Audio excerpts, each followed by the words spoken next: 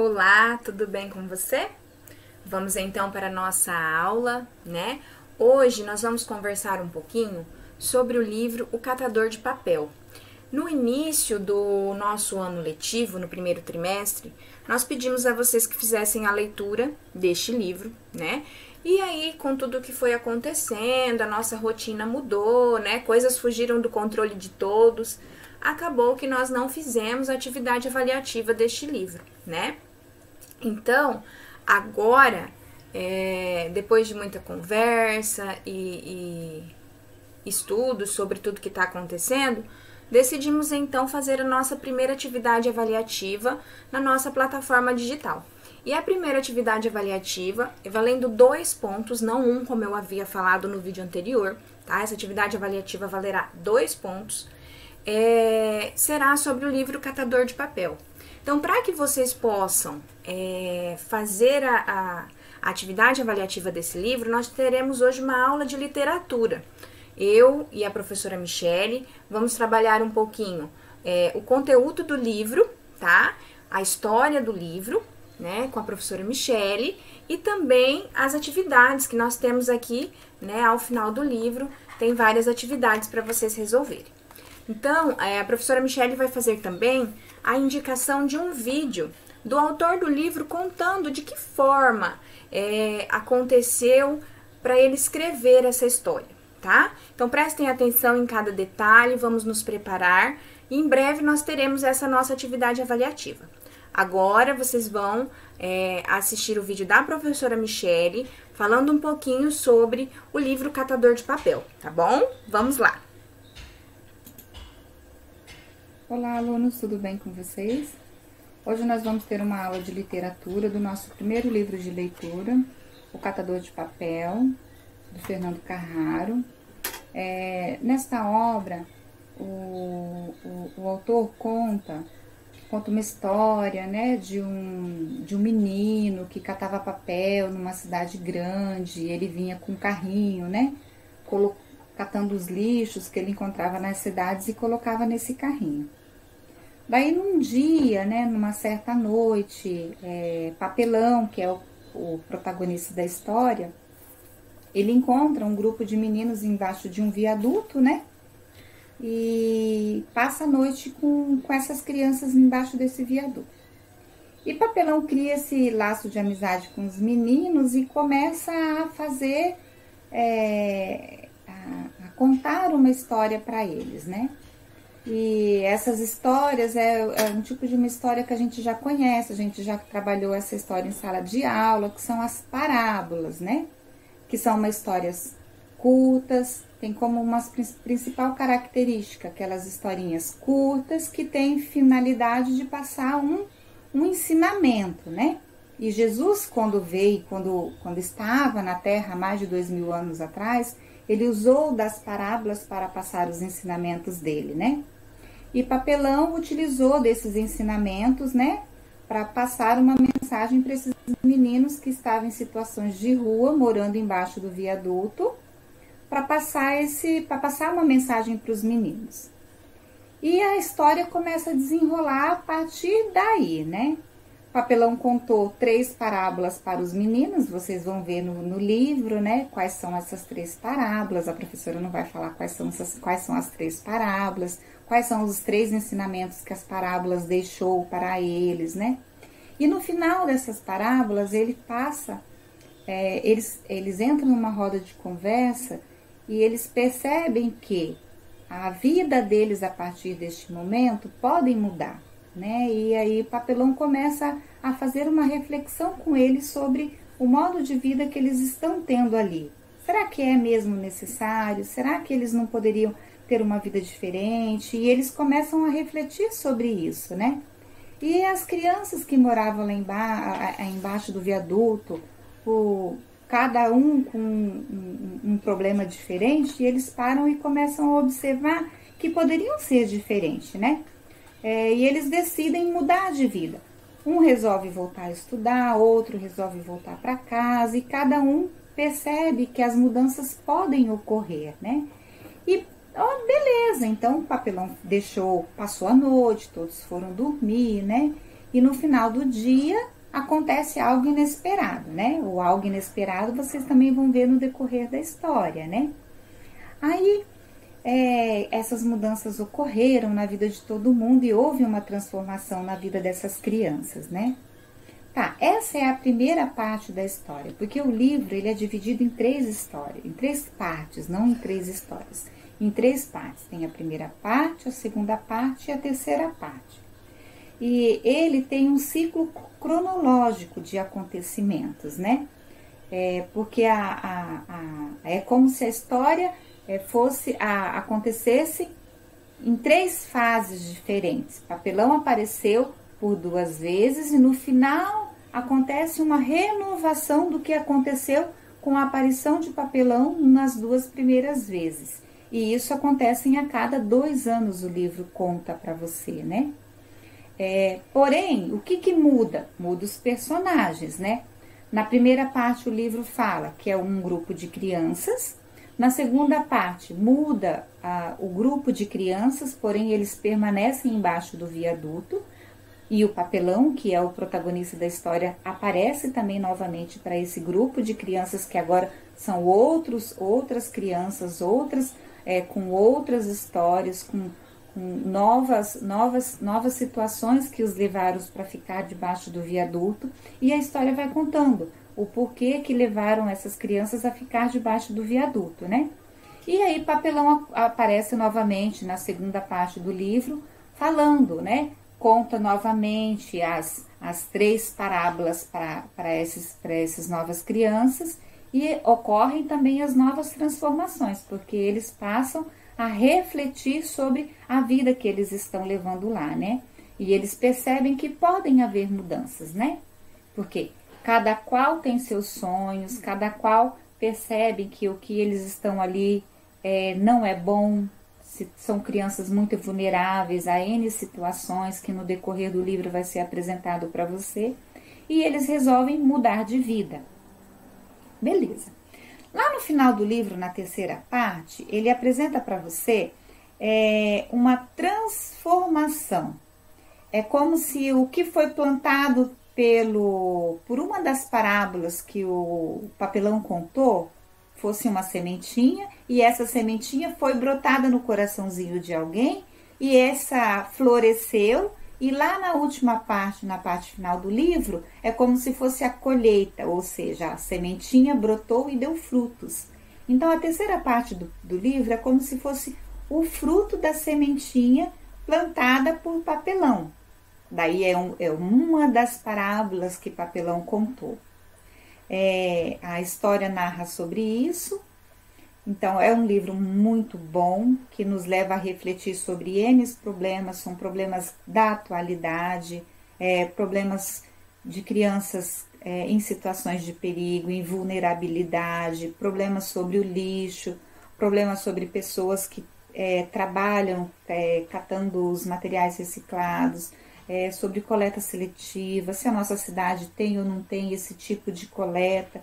Então, assim, quando nós retornarmos, a gente pode fazer uma roda de conversa sobre todas essas situações, problemas que o livro aborda.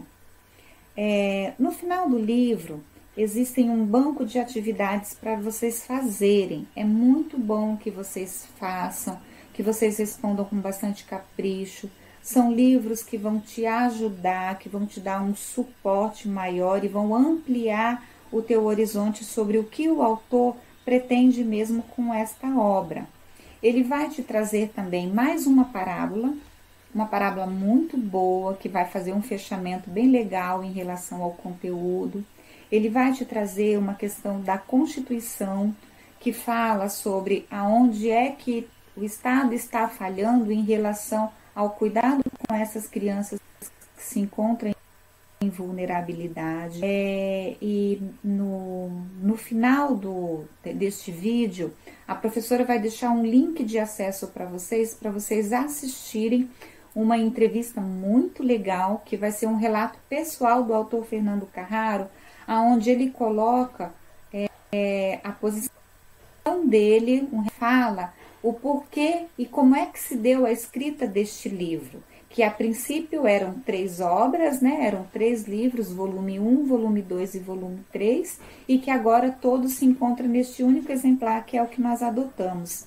É bem, bem legal, bem pessoal, e que daí deixa mesmo aquela dúvida para nós, que o livro também coloca você a refletir. Quem é papelão? Será que ele é mesmo Jesus Cristo que, se, que apareceu para essas crianças? Então, assim, o livro te deixa um monte de questionamentos e o autor também teve esse questionamento e ele coloca isso para você nessa entrevista, nesse relato que você vai assistir nesse vídeo. E em breve nós vamos disponibilizar uma avaliação do livro no próprio portal, no, na, você vai fazer essa avaliação na sua casa. É, então é muito bom que você releia o livro, é, reveja as questões, as questões que você já respondeu, porque é uma obra que já foi trabalhada, já tem bastante tempo que nós fizemos a leitura, tem bastante tempo que você leu, então já é um conteúdo que você conhece e domina. Então espero que você releia, que você goste, assista a entrevista dele, que faça uma boa releitura e em breve nos veremos. Beijo! Então aí nós, né, tivemos a indicação de leitura da professora Michele. É, agora nós vamos conversar um pouquinho sobre as atividades aqui desse livro, tá? Que após você fazer a leitura, você deverá realizar as atividades do livro Catador de Papel, tá certo? Então vamos lá. É, no livro de vocês aí, o Catador de Papel, que vocês devem ter em mãos, nós temos a primeira atividade. Complete a cruzadinha com o nome dos personagens que viviam embaixo do viaduto. Então, Bia, Edu, Léo, Duda, Dudu, Neno, Tuca, Binho, Alemão e Betinho. Então, aqui você vai completar a cruzadinha com o nome dos personagens, tá? Depois você vai desembaralhar as letras para escrever o apelido do personagem principal da história. Aí você vai escrever aqui no espaço. Na próxima questão, nós temos assim: as crianças concluíram que o amigo que surgiu nas noites de Natal, na verdade, era Jesus. Ele aconselhou-as a voltar para casa e a frequentar uma escola. Você considera que são bons conselhos? Por quê? Papelão escreveu um bilhete de despedida às crianças. Escreva, agora escreva um pequeno texto revelando o que você deseja de melhor a pessoas que estão na mesma situação que elas. Todas as crianças tinham sonhos. Sublinhe no livro os sonhos que contaram a papelão e depois converse com os colegas. Eram sonhos impossíveis de ser realizados? Por quê? Complete o texto com as palavras abaixo, depois localize-o no livro e, com, e confira se completou corretamente definido, mente, sonhos, caminho, importante, passo e farol. Então você vai completar aqui nesse espaço com essas palavras, tá? Você concorda com papelão quando ele afirma que o sonho deve guiar nossa vida? Por quê? Continuando ali, então, nós vamos para a próxima página. Deixa eu só organizar aqui. Então, a questão 6. Em 1988, foi promulgada a Constituição da República Federativa do Brasil, lei suprema que todos os brasileiros devem ser, seguir. Leia o artigo 227. É dever da família, da sociedade do Estado assegurar à criança, ao adolescente e ao jovem, com absoluta prioridade, o direito à vida, à saúde, à alimentação, à educação, ao lazer, à profissionalização, à cultura, à dignidade, ao respeito, à liberdade e à convivência familiar e à comunitária, além de colocá-los a salvo de toda forma de negligência, discriminação, exploração, violência, crueldade e opressão. Então essa é uma lei brasileira. Então pensando nessa lei, né, que existe, os personagens, assim como outros milhares de crianças e adolescentes brasileiros, vivem em situação de rua, Procure no dicionário ou em sites o que significa a palavra justiça e escreva abaixo. Escreva uma frase com, as, com a palavra justiça. Então, ali é pessoal, né? Releia o artigo 227 e responda os direitos descritos na lei refletem a realidade dos personagens? Então, esses personagens do livro O Catador de Papel, eles tinham todas essas leis, todos esses direitos garantidos, né? Como aparece aqui na lei, é, respeito, dignidade, cultura, lazer, educação, né? Entre outros, eles tinham esses direitos garantidos para que as crianças que vivem na rua, né, tenham esses direitos garantidos, tá? Então, aqui você vai responder nessa questão. Continuando, na questão 7 aí do livro, né? É, leia mais uma parábola de Jesus e converse com os colegas e o professor. Então aí vai vir é, a parábola da ovelha perdida, tá? Vocês vão fazer a leitura dessa parábola com bastante atenção para poder responder as questões, tá? Então, letra A, procure no dicionário o significado das palavras abaixo, depois ligue uma a definição adequada. Então, reputação, converter e arrependimento. Então, mudar de crença e religião, conceito que uma pessoa recebe de outra ou outras sentimento de tristeza pelo mal cometido e mudança de atitude. Então, você vai fazer a ligação aqui, né, dessas palavras ao seu significado correto. Depois, nós temos ali na, na página seguinte a letra B. Você vai fazer um X nas palavras corretas, tá? Nas frases corretas. Então, você vai ler as três frases com relação à história do livro. Qual é a correta? Marca um X. Podemos dizer que o fato de as crianças voltarem para casa se assemelha à história da ovelha perdida? Por quê? Então você tem aqui a parábola da ovelha perdida. Você vai ler essa parábola. As crianças que estavam na rua, tendo retornado para casa, tem alguma semelhança? Se parece a história da ovelha perdida? Por quê? E aqui você vai procurar no livro, tá? Esses objetos e vai circular. Lá onde você encontrar, você vai circular. Retorne às páginas 48 e 49 e pinte a cena e circule o papelão, né? Então, nas páginas 48 e 49 do livro de vocês, é, vocês têm aí é, o desenho, né, para vocês pintarem. Deixa eu só pegar aqui, tá? Vocês vão dar um colorido para essa, essas páginas aqui, bem bonito, tá? Como eu sei que vocês sabem fazer, aquele capricho. E aí, vocês vão circular onde está o papelão, tá? Bom, essa é a tarefa de vocês. Ler este livro com bastante atenção, é, fazer as atividades propostas nessas páginas, tá? Já se preparando para a nossa atividade avaliativa, né? Como eu conversei com vocês, nós teremos atividade avaliativa é, valendo dois pontos referente a esse livro aqui na nossa plataforma digital, tá? Então façam com capricho. Sugiro também que vocês contem, não precisa ler a história, mas conta a história do papelão para a família, tá? É uma história muito bonita, né? Uma história de crianças que não têm a oportunidade que você tem, né? Então, se você tem aí a oportunidade de um lar, de um, uma comida, de uma roupa para vestir, seja grato, né? Porque às vezes nós temos outras crianças que não têm a mesma realidade que a sua, tá? Então, essa é a história do papelão, né? O catador de papel. Façam a leitura, estudem, tá? Leiam mais de uma vez que nós teremos aí a nossa atividade avaliativa, certo?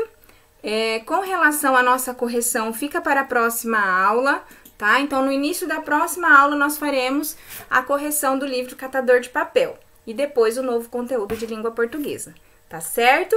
Então, bons estudos para vocês, tá? Fiquem com Deus. Tchau!